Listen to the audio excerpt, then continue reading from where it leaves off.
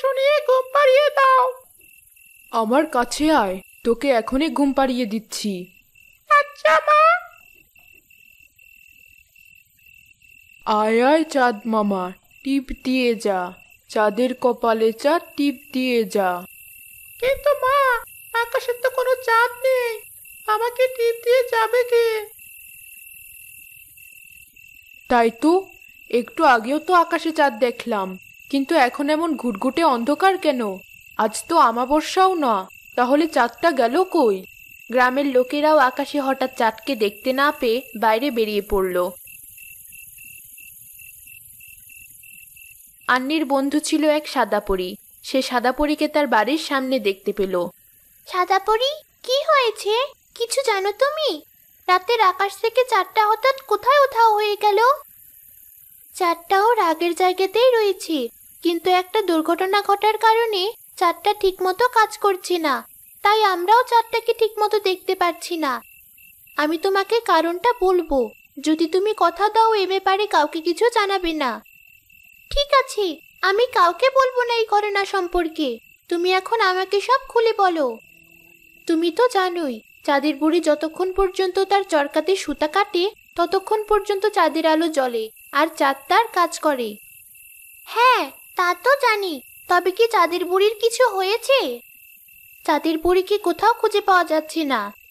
সবার সন্দেহ হচ্ছে, চাঁদের বুড়িকে কেউ ধরে নিয়ে গেছে। তাই আমাদের সবাইকে বলা হয়েছে, চাঁদের বুড়িকে খুঁজে বের করতে। আমাকেও তোমার সাথে চাঁদে নিয়ে চলো। আমিও তোমার সাথে চাঁদের বুড়িকে খুঁজবো। অন্ধকার সমুদ্রে আমার বাবা ভাই হয়তো এখনও আটকে আছে। চাঁদের আলো ছাড়া ওরা ওদের পথ হারিয়ে ফেলবে। তাই আমিও চাই তোমাদেরকে সাহায্য করতে। ঠিক আছে, তুমি তাহলে দ্রুত আমার সাথে চলো। আমাদের এখানে সময় নষ্ট করা যাবে না।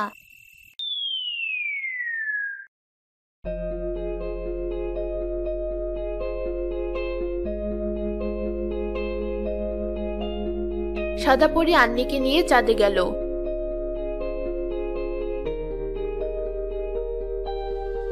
সাদাপরীকে দেখে চাঁদের সিন্দারা ছুটে এলো। তারা দেখতে মানুষের মতো হলেও তারা সবাই ছিল বামন আকৃতির। সাদা পরে চাঁদের বুড়িকে কোথাও খুঁজে পেয়েছ কি? না বুড়িকে খোঁজার জন্যই আমি আর আমার বন্ধু আন্নি চাঁদে এলাম। অন্য পরীরা পৃথিবীতে চাঁদের বুড়িকে খুঁজছে তাই আমি আন্নিকে নিয়ে চাঁদে চলে এলাম বুড়িকে খুঁজতে। তুমি এসেছে ভালো হয়েছে। এবার তোমরা তাড়াতাড়ি চাঁদের বুড়িকে খুঁজে বের করতে পারবে। আন্নি তুমি আমার সাথে এসো। বুড়ি যে চরকা দিয়ে সুতো কাটে সেই চরকাটার কাছে গেলে আমরা হয়তো নতুন কোনো তথ্য পাবো। তুমি ঠিক বলেছ।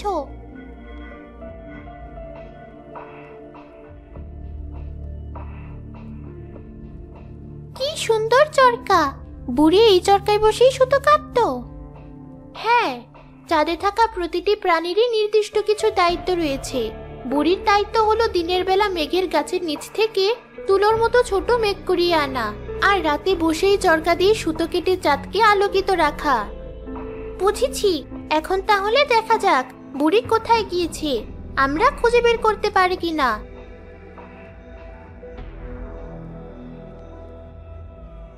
নদীর পাশে কি যেন একটা চকচক করছে, চলো তো ওদিকটায় গিয়ে দেখি। আরে এই পাথরের ক্লিপটা তো বুড়ির খোপায় গোজা ছিল। এটা এখানে কি করছে? আমি নদীর মাছগুলোকে জিজ্ঞাসা করে দেখছি। ওরা কিছু বলতে পারে কিনা? কি হয়েছে? তোমরা আমাদের কি জিজ্ঞেস করতে চাও? তোমরা কি নদীর আশেপাশে চাঁদের বুড়িকে কোথাও দেখেছিলে? আমি তো কাউকে দেখিনি। এই সোনা মাছ রূপা মাছ তোরা কি কাউকে দেখেছিস? না আমি কাউকে দেখিনি। আমিও না। তোমরা বাদে আমরা অন্য কাউকে দেখিনি এই নদীর কাছে। আমি দেখেছি চাঁদের বুড়িকে বরফ পাড়া সচেতন করে ওই পাহাড়টার দিকে নিয়ে গিয়েছে। ধন্যবাদ নীলমাছ। বরফ মানবী তাহলে বুড়িকে ধরে নিয়ে গেছে। ওকে খুঁজে বের করতে পারলেই আমরা বুড়িকেও খুঁজে বের করতে পারব। এই সাদা মেঘ আমাদের বরফ মানবের বাসায় নিয়ে চলো।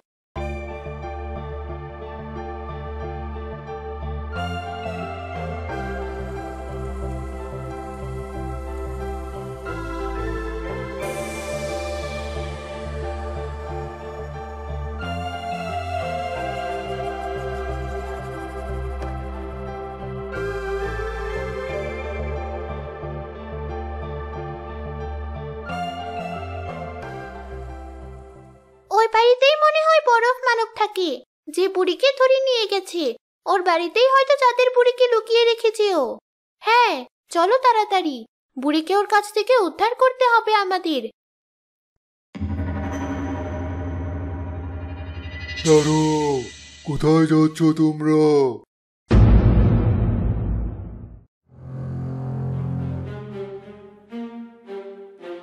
আমরা বরফ মানবের সাথে দেখা করতে যাচ্ছি। তার সাথে কিছু দরকার ছিল আমাদের। যে কেউ চাইলে বরফ মানবের বাড়িতে ঢুকতে পারে না। এই দরজা দিয়ে ঢুকতে হলে গোপন একটা বার্তা বলতে হয়। যারা এই বার্তাটা বলতে পারে শুধুমাত্র তারা এই বরফ মহলে প্রবেশ করতে পারে। আমি জানি সেই গোপন বার্তাটা। তুমি আমার কাছে এসো। তোমাকে কানে কানে বলছি আমি সেই বার্তাটা।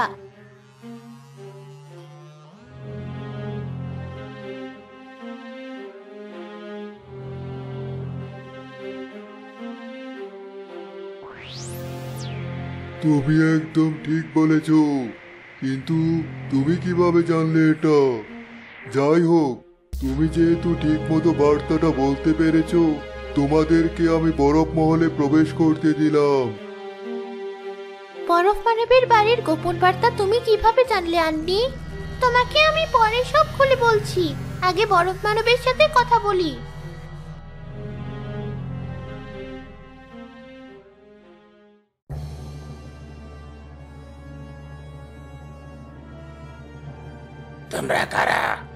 আমার বাড়ির ভেতরে এলে কি করে?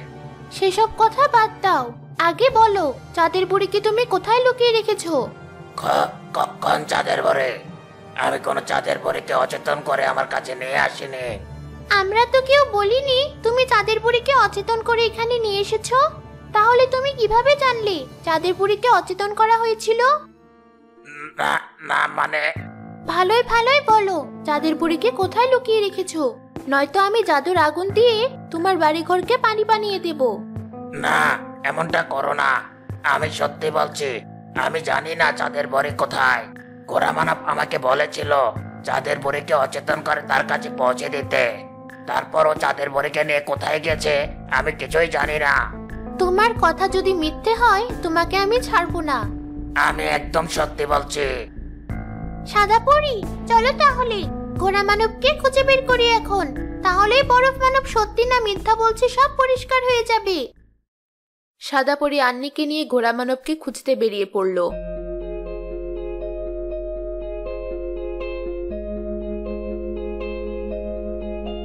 চাঁদের অন্য বাসিন্দাদের জিজ্ঞাসা করে তারা ঘোড়া মানবের খোঁজ পেল।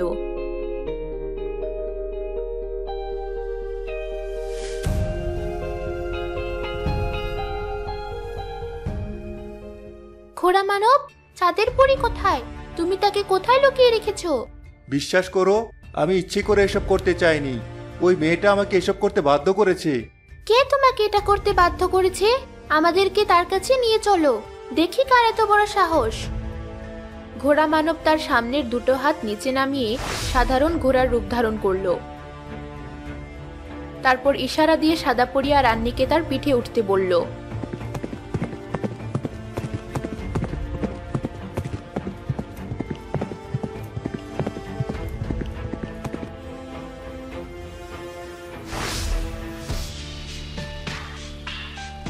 তুমি আমাদেরকে এখানে নিয়ে এলে কেন? এটা তো চাঁদের পুরীর বাড়ি। তোমরা আমার সাথে চলো তাহলেই সব টের পাবে।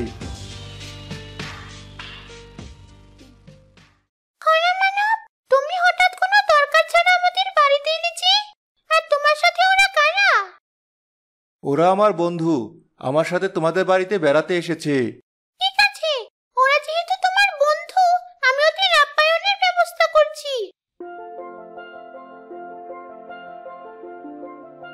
চাঁদের বুড়ি এই বাড়িতেই আছে। এই জন্যই আমি তোমাদেরকে এখানে নিয়ে আসলাম। বলছো কি? আমরা চাঁদের বুড়িকে সব জায়গায় খুঁজে বেড়াচ্ছি। আর তুমি কিনা বলছো চাঁদের বুড়ি তার বাড়িতেই আছে? আস্তে কথা বলো। শিমু যদি কোনোভাবে জানতে পারে তোমাদেরকে আমি চাঁদের বুড়ির কথা বলে দিয়েছি তাহলে আমাদের সবাইকে বাড়ি থেকে বের করে দেবে। ঠিক আছে। তুমি তাহলে আমাদেরকে বলো চাঁদের বুড়ি এখন কোন ঘরটাতে রয়েছে? উপরের সবুজ দরজার ঘরটাতে। তাদের বুড়িকে আটকে রেখেছে শিমু। তোমরা দুজন যেভাবেই হোক, ওদিকটায় যাওয়ার চেষ্টা করো। সবার জন্য সামান্য কিছু খাবার নিয়ে এসেছি। তোমরা এই খাবারগুলো খেয়ে নাও। প্রেতা তোমার হাত থেকে নিতে গিয়ে খাবারগুলো সব আমার জামায় পড়ে গেল। এখন কি করি? ওদিকটার পানি আছে। আমি নিয়ে যাচ্ছি আন্নিকে। তুমি ঘোড়া মানবের সাথে গল্প করো।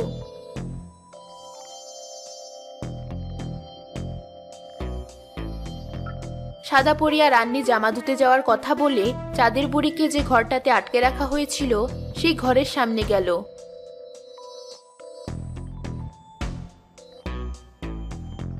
দরজাটা তো তালা দেওয়া এটা এখন ভাঙবো কি করে? তুমি সরো। আমি এখনই জাদু দিয়ে দরজাটা ভাঙছি।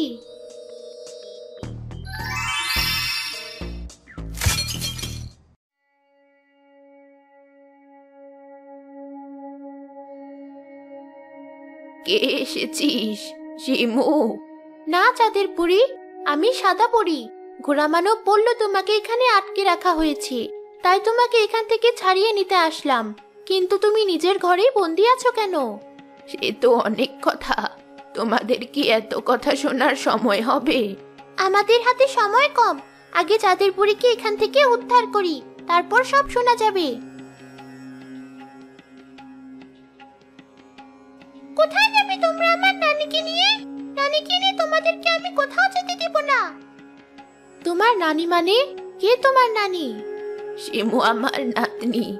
ও আমার কথাই বলেছে। তার মানে তোমার নাতনি তোমাকে এখানে আটকে রেখেছে? আমি আমার নানিকে এখানে আটকে রেখেছি। কোথাও যেতে দিব না আমি নানিকে। নানি এখন থেকে সারাদিন আমার সাথে থাকবে আর আমার সাথে খেলা করবে। পাগল মেয়ে আমি যদি সারাদিন তোর সাথে খেলা করি তাহলে আমার কাজগুলো কে করবে? এই দেখ আমি এখন চরকায় সুতো কাটছি না বলে সাদা পরি আর ওর বন্ধু আমাকে খুঁজতে খুঁজতে এখানে চলে এসেছে। শিমু তুমি তোমার নানিকে আমাদের সাথে যেতে দাও। তাহলে সবকিছু আবার আগের মতো হয়ে যাবে। তোমার নানিকে ছাড়া আমরা সবাই খুব বিপদে আছি। না আমি কিছুতেই নানিকে তোমাদের সাথে যেতে দেব না। নানি একবার চরকায় বসলে আবার সুতো কাটতে শুরু করবে। তখন আর সে আমার সাথে খেলার সময় পাবে না। তাই আমি নানিকে কোথাও যেতে দেব না। শোন শিমু তুই আমার নাতনি না। আমাদের পরিবারের সব মেয়েদেরই একটা নির্দিষ্ট বয়সে গিয়ে চাঁদের বুড়ির দায়িত্ব পালন করতে হয়। একদিন যখন তুই আমার সমান হবি তোকে ওই দায়িত্ব পালন করতে হবে। শিমু হঠাৎ করে কাঁদা শুরু করল। সে কাঁদতে কাঁদতে তার নানিকে বলল কিন্তু নানি আমি চাই না তুমি আমাকে ছেড়ে আবার তোমার কাজ নিয়ে ব্যস্ত হয়ে পড়ো। আমি চাই তুমি চাঁদের বুড়ি হওয়ার আগে আমার সাথে যেমন সময় কাটাতে এখনও তাই করো। তুমি কোনো চিন্তা করো না শিমু। আমি চাঁদের রানীর সাথে আলাপ করব, যেন সে তোমার নানির কাজ কিছুটা কমিয়ে দেয়। আপাতত তোমার নানিকে আমাদের সাথে করে নিয়ে যেতে দাও। ঠিক আছে, সাদাপুরি। তোমার কথাই আমি নানিকে যেতে দিচ্ছি।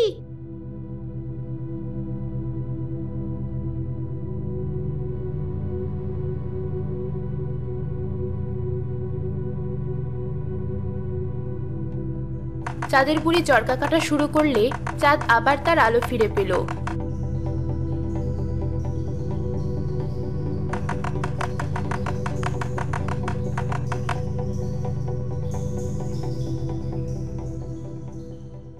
আমি রানীর সাথে সব আলাপ করেছি। এখন আর তোমাকে একাই সব কাজ করতে হবে না। তোমার সব কাজে এখন থেকে পিকুয়ার চিকু তোমাকে সাহায্য করবে। যাতে তুমি তোমার সব কাজ শেষ করে তাড়াতাড়ি শিমুর কাছে ফিরতে পারো। তোমাকে অনেক ধন্যবাদ, সাদাপুরি। তোমার জন্য এখন আমি আমার নাতনিকে ঠিকমতো সময় দিতে পারব। আমাকে ধন্যবাদ দেওয়ার কিছু নেই। তুমি আর তোমার পরিবার আমাদের পৃথিবী আর চাঁদকে ঠিক রাখার জন্য অনেক কষ্ট করো। আর আমি তোমাদের জন্য সামান্য এটুকু করতে পারব না। সাদা পরি, আমাকে আমার বাড়িতে রেখে এসো। চাঁদ যেহেতু ঠিক হয়ে গেছে, আমার বাবার ভাইও বাড়ি ফিরে এসেছে হয়তো। ঠিক আছে, চলো।